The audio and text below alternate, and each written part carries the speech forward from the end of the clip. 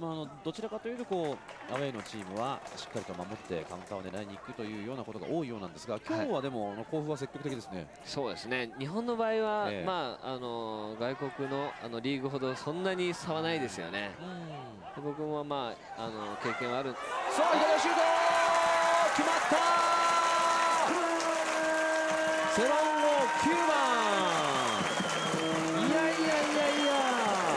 シュートでしたね。須藤の左足。今シーズン3点目。今あの僕も野口さんもあ失礼しました。ただいまの得点は水戸コーンホック。背番号20番。